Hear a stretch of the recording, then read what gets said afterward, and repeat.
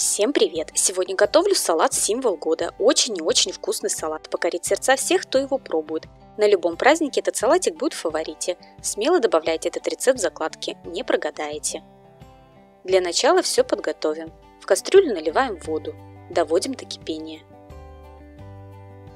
Как вода закипит, кладем куриную грудку.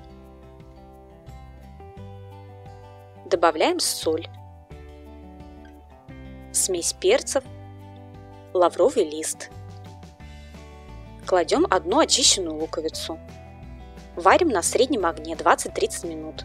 У меня кастрюля фирмы Талер, подходит для всех типов плит, ручки не нагреваются. В сотейнике отварим 5 яиц, обязательно добавим соль, так яйца не потрескаются во время варки, а если даже и треснут, то не вытекут. Луковицу нарежем кубиками. Свежие шампиньоны 300 грамм нарежем пластинками. Можно заменить на свежие грибы, тогда их нужно предварительно отварить. На сковороду наливаем растительное масло 2-3 столовые ложки, кладем лук и обжариваем до полупрозрачности.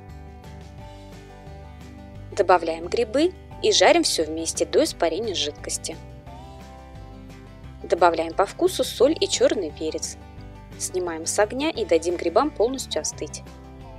Куриную грудку 300 грамм нарежем или разделим руками на волокна. Маринованные огурцы 2 штуки натрем на крупной терке. 3 яйца разделим на белки и желтки. Натрем на мелкой терке по отдельности. Собираем салат в кольце. У меня диаметр кольца 16 см. Первым слоем кладем куриное мясо, смазываем майонезом. Вторым слоем кладем огурцы. Предварительно с них нужно слегка отжать лишнюю жидкость. Смазываем майонезом.